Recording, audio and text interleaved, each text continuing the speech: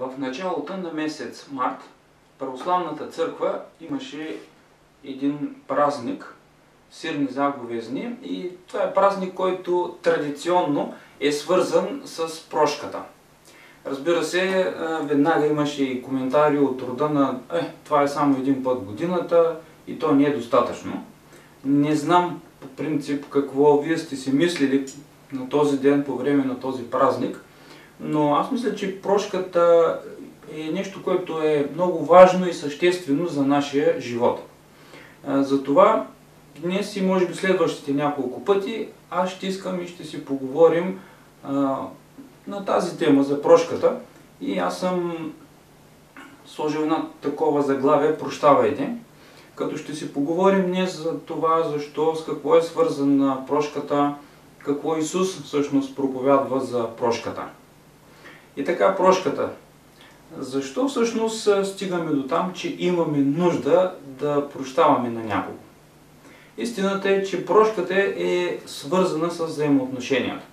С други думи, там където има едни реални, едни истински действащи взаимоотношения, там винаги може да се появи нуждата от прошка. Там където има такива взаимоотношения, може да има конфликтни ситуации, може да има някакви наранявания и там възниква и нуждата от прошка. Така че прошката е свързана по някакъв начин с взаимоотношенията. И по-скоро с това, че винаги от едната страна на тези взаимоотношения има човек, който е несъвършен в своето поведение. Всички ние знаем, че в нашето поведение ние не сме съвършени. Апостол Павел поне на две места в Библията, в Първо Коринтияни и в посланието към галатяните, той говори за живот по плът. Можем да кажем, че една от причините да се стига до там, че е необходимо да прощаваме това, че ние хората, дори вярващите, живеем понякога по плът и по този начин нараняваме другия човек, човекът от другата страна. Така че има ли взаимоотношение, винаги ще има и нужда. Понякога, в един момент, нужда от прошка. Помислете си, ако ви се налага да забиете перон някъде и докато забивате перона, в един момент ударяте щука и си ударяте пръста на всички нас ни е ясно, че чукът няма никога да ви каже О, прощавай, че те ударих. Нито пък ние ще се обърнем към чука и ще кажем, ами знаеш ли, прощавам ти.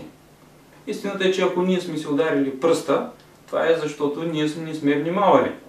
По някаква причина, докато примерно сме забивали перона, сме гледали футбол на екрана, погледът ни се е отместил и вместо да оцелим перона, сме оцелили пръста си. Така че взаимоотношения, там където има едни реални истински взаимоотношения, където има две страни в, а, активни в взаимоотношенията, там се проявява понякога и нуждата от прошка. И да, наистина, един път в годината няма да бъде достатъчен по всяка вероятност да прощаваме или да си искаме дори прошка. Взаимоотношенията ни могат, можем да ги разделим на три групи нашите взаимоотношения с Бога, нашите взаимоотношения помежду ни или с други хора, а дори бих добавил една трета категория взаимоотношенията с самите себе си. Защото истината е, че понякога ние имаме очаквания спрямо себе си. Какво да направим, какво да не направим, какво да кажем, какво да не кажем. И в един момент ние се проваляме. Проваляме се, не успяваме да достигнем, да покрием тези очаквания – и тогава обвиняваме себе си, виним себе си. В такъв момент може би е нужно да простим дори и на себе си. Така че имаме различни взаимоотношения, в които ние участваме. И както вече казах, може би в даден момент да се появи нуждата от това да прощаваме. Интересно е, че темата за прошката е една от известните теми и че всъщност дори Исус Христос в един момент имаше проблем точно в тази област с прошката. В Евангелието на Матей, в 9 глава, в първите няколко стиха, ние виждаме една много интересна случка, една много интересна история. В тази история се казва, че Исус Христос в първи стих се качва на един кораб и преминава от другата страна отиде в своя си град. И в следващия стих се казва, че и ето донесоха при него един паралитик, сложен на постелка. И Исус, като видя вярата им, каза на паралитика, дързай, синко, прощават ти се греховете. Идеята да донесат този човек, парализиран на постелка при Исус, беше Исус да го изцели физически. В случая обаче Исус вижда една по-голяма нужда. Поглежда зад физическото, отвъд физическото и вижда, че има нужда от нещо друго. Има нужда на този човек да му бъдат простени греховете и той му казва, бъди силен, прощават ти се греховете. И в следващия стих, разбира се, книжниците, които са наоколо, които следваха Исус и следяха внимателно какво ще каже, какво ще направи, ще следва ли закона, веднага казаха този богохулства. Идеята беше, че за тях единствено и само Бог е този, който може да прощава греховете.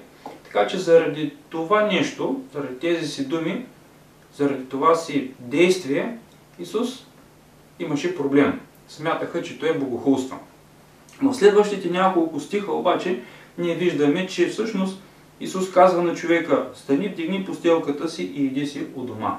И това според неговите думи и според въобще това, което се случва, е едно доказателство, че всъщност той има власт на земята да прощава греховете. И за хората, които бяха наоколо, това щеше или би трябвало да бъде едно отваряне на техните духовни очи по отношение на това, кой всъщност е Исус. За тях той беше един учител, един човек, с едно много хубаво получение, с един много хубав морален живот за пример, но в този случай той им отвори очите и показва, че всъщност той е нещо повече от един обикновен човек. Така че случващото се дори в този момент, когато той каза на този човек, прощавате се греховете, той разкриваше своята същност. Че той не е само човек, но той е Бог, който е дошъл в плът на земята. Ние виждаме, че в тази случка, че човека стана, взе постелката си и замина нататък. Така че, ние виждаме, че прошката е нещо, което е хубаво, дори в един такъв момент тя създаде проблем на Исус с хората покрай него, поради тяхното разбиране и поради това, че техните духовни очи не бяха отворени. В Лука 17 глава Исус говори за прошката. Исус проповядваше и ще видим, че това е така живот на простителност. В тази 17 глава, в 3 и 4 стих, той казва следното. Внимавайте на себе си. Ако прегреши брат ти, смъмри го. И ако се покая, прости му. Тук има две думички, които са важни за нас, за които за момент ще поговорим. Ако и покая. Сякаш Исус поставя едно условие, кога да простим на човека, който ни е наранил. Ако той се покае. Това означава ли, че ако някой ни нарани и не се покае, ние не трябва да му простим. Важно е да погледнем, че това са думи на Исус към хора, които живеят в Стария Завет. В едни други условия, в един друг завет. В Новия завет ние виждаме нещо по-различно. Апостол Павел в Колосяните 3 глава 13 стих, обръщайки се към вярващите, казва, ако има проблем помежду ви, казва, прощавайте си така, както Бог е простил на вас. Въпросът е как Бог прости на нас. Кой от нас отиде при Бог и му каза, прости ми? Не. Бог ни прости. Преди ние дори да сме повярвали, че има Бог, преди, преди ние да сме приели Христос за Спасител, Той изпрати си на си на кръста, Той умря за прощението на греховете на цялото човечество, на всеки един от нас. Така че Бог ни прости преди ние да сме поискали прошка. Така че неговата прошка не зависеше от това дали ние сме се покаяли. Не. И Павел каза, нека това да бъде като пример за вас. Така че ние прощаваме на първо място, осъзнавайки как Бог е простил на нас, че ние сме простени. Че това беше Божият избор, независимо от нашето поведение и състояние, да ни прости греховете чрез смъртта на своя Син Исус Христос. Разбира се, когато ние повярваме в Христос, това е моментът, когато ние приемаме тази прошка и тя става реалност за нас. И Павел каза по същия начин вие прощавайте. Другата причина, поради която е добре да прощаваме, е да осъзнаем, че ние сме нови създания. Не само, че сме простени, но ние сме и променени. Създадени по образа на Бога в истинска праведност и святост. И ако същността на Бога е милостивов и прощаващ, то ние също можем да бъдем такива, да бъдем милостиви и да прощаваме, дори тогава, когато човекът не си поиска прошка и не се покая. Ето защо е важно да осъзнаваме какво се е случило, какво Бог е направил за нас и какво Бог е направил в нас. Ние живеем по един съвсем друг начин. Ние живеем от нашата нова самоличност, от нашата нова същност, а тя е прощаваща. Така че Исус каза, ако ти прегреши брат ти, прости му. И каза, седем пъти на ден, ако ти се греши, седем пъти се обърне към теб и каже, покаявам се, прощавай му. Исус проповядваше живот на простителност. Апостол Петър в Матея 18 глава има въпрос относно прошката. По някаква причина, може би нещо се е случило, той се обръща към Исус и му задава следния въпрос. Матея 18 глава, 21 стих. Тогава Петър се приближи и му каза, Господи, доколко пъти, като се греши брат ми против мен, да му прощавам? До 7 пъти ли? Петър искаше да има някаква граница, някакъв лимит, някакво ограничение за това доколко пъти да прощава. Може би той не е бил най-търпеливият човек и затова иска да знае доколко пъти му е позволено. И той си поставя някаква граница. Седем пъти. Може би си е казал, Бог е нашият пример. И неговото число, божествено число е 7, значи 7 пъти е добре. Така че Исус е до 7 пъти ли да прощаваме. След това Исус му казва, не ти казвам до 7 пъти, а до 70 пъти по 7. Разбирате, че всъщност Исус не му каза, че той трябва да изчисли, нито пък на нас да изчислим колко е 77 по 7, да тръгнем с един лист, на който да напишем имената на всички хора, с които имаме някакви взаимоотношения, с едно моливче и да отбелязваме колко пъти са ни наранили и колко пъти сме простили, за да достигнем до границата, която е поставена и да спрем да прощаваме. Не. Идеята на Исус беше, че ние трябва да живеем живот на простителност. Да бъдем готови да прощаваме. Защото прошката служи на самите нас на първо място. Ние да бъдем изцелени, ние да бъдем свободни. И в тази идея, за да му покаже колко важно е прошката и да живеем такъв живот на простителност, той му разказва една много интересна и много важна история. И днес ние ще разгледаме първата част от нея. 23 стих. Защото Небесното царство прилича на един цар, който поиска да прегледа сметките на слугите си. И като започна да ги приглежда, докараха при него един, който му дължеше 10 000 таланта. Аз искам да направим една аналогия на взаимоотношенията между този цар и слугата, като между Бог и нас. Бог е царят, а ние сме в позицията на слугата. И Мартин Лутер е казал, че спрямо Бога ние сме като просяк. Ние не можем да направим, не можем да му се изплатим, не можем да покрием дълга, който ние имаме към него. И в този случай този човек дължи 10 000 таланта. Сега хората са изчислявали колко голям е този дълг. Не е важно да се опитаме да го превърнем в някакви мерни единици днес. Това, което чуват хората по времето на Исус е, че този човек той не може, няма начин да изплати дълга, който има. Не е възможно да го направи. По същия начин бяхме и ние. Докато бяхме грешници, ние бяхме в дълг спрямо Бога. Нашите грехове бяха много големи. И нямаше начин как ние да покрием този дълг. Това е един начин, по който всъщност ние можем да погледнем на прошката. Че когато ние нараняваме някого, всъщност ние поставяме себе си в позицията на това да му дължим нещо. Така че прошката може да бъде разгледана като дълг, нещо, което дължим на другия. Може би с това, което сме казали и сме направили, сме отнели мира му и той не може да спи вечер. Може би сме му показали, че той няма стойност. Може би сме го отхвърлили по някакъв начин. И ние се поставяме в позицията на това да му бъдем длъжници. И тук дългът е наистина огромен, не може да бъде изплатен. И да, много хубава картина на положението на грешника спрямо Бог. Ние не можем, няма как да платим за дълга, за греховете, които сме извършили спрямо Него. Но Бог промени нещата в Исус Христос. Но понеже нямаше с какво да заплати, господаря му заповяда да продадат него, жена му и децата му, всичко, което имаше и да си плати дългът. Това беше начин по който да се изплати дългът в Израел. Ако не можеш да платиш дълга, ставаш като роб. Работиш, за да можеш да си върниш парите. Така че те му вземат всичко, него цялото му семейство ги изпращат, за да могат да работят, да вършат нещо, за да се изплати този дълг. Тоест, той губи, той и цялото семейство губят свободата, която имат.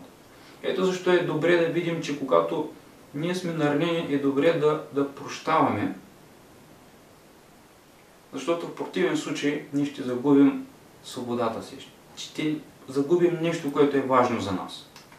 По-нататък си казва така, затова слугата падна, кланяше му се и казваше, имай търпение към мен и ще ти платя всичко.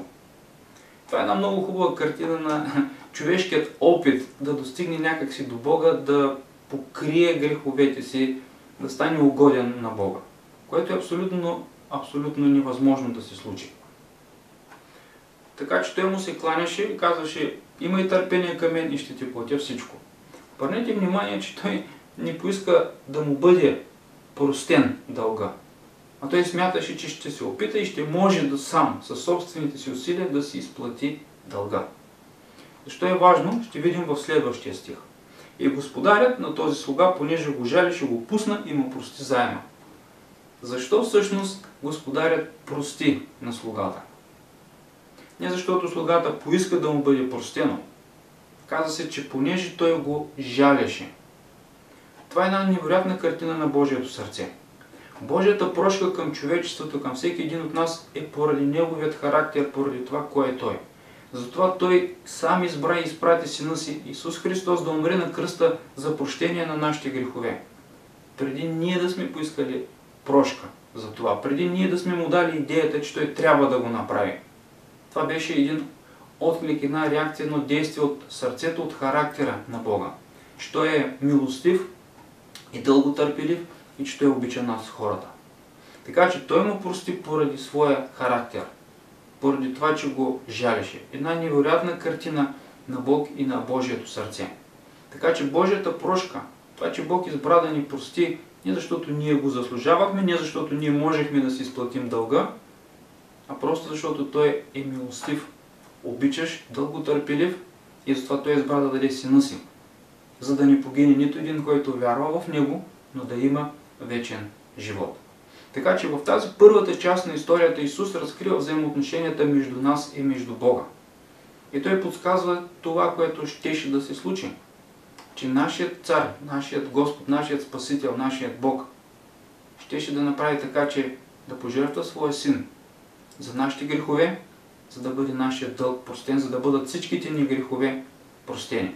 Това е нещо, за което ще поговорим по-нататък. Ние бяхме простени не защото поискахме прошка, не защото го заслужавахме, а това беше Божият избор, това беше действие породено от характера и сърцето на Бога. И в Римляни 5 глава 8 стих апостол Павел го каза последният начин. Но Бог доказа своята любов към нас в това, че когато бяхме още грешници, Христос умря за нас. Прошката на Бог към нас е израз на любовта на Бог към нас. И понеже ние сме новородени, ние сме различни, и понеже Той живее в нас, ние също можем да, прощаваме, като израз на нашата любов, начина по който ние гледаме и се отнасяме към другия. И така, прошката, тя е свързана с взаимоотношения. Добре е да прощаваме, за да бъдем самите ние свободни. Като израз на това, че сме осъзнали колко много Бог е простил на нас, как ни е простил и че поради това, че ние сме нови създания, ние също може да прощаваме, без да очакваме другият да поиска прошка. Прощаваме, защото сме простени и защото сме нови създания, способни да прощават. защото Той, Христос, живее в нас и Той е нашата сила, нашата мъдрост и Той ни дава всичко, което е необходимо, за да живеем един живот на благочестие. Амин. Нека да завършим с една молитва. Нека да благодарим на Бог за това, което е направил за нас. Татко, благодаря Ти за това, че Ти ни прости, а за това, че Ти даде своя единороден син да умре за нашите грехове, за да можем да бъдем простени, за да могат нашите взаимоотношения с Теб да бъдат изчистени, да имаме мир с Теб. Благодарим Ти за тази скъпоценна жертва, Татко. Помогни ни да осъзнаем дълбочината на това, което си направил, да видим колко много Ти си ни простил. Помогни ни да осъзнаем, че като нови създания, в които Ти живееш, в които Святия Дух обитава, ние имаме силата и способността да прощаваме, за да бъдем свободни, за да имаме едни добри, истински, чисти взаимоотношения. За всичко това аз се моля в името на нашия Господ и Спасител Исус Христос. Амин.